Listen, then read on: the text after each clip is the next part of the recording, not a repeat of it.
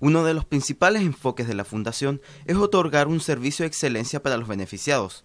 Es por eso que trabajan para tener todas las herramientas necesarias, como también el personal capacitado. El trabajo realizado está disponible para toda la población, pero las familias de mayor vulnerabilidad tienen prioridad.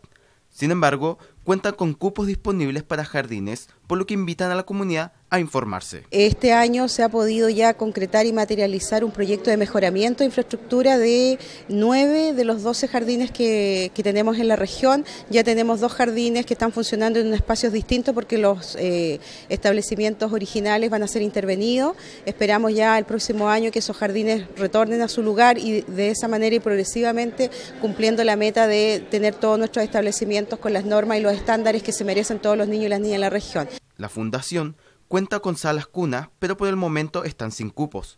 Sin embargo, ya tienen estipulado ampliar algunos jardines para abarcar la alta demanda.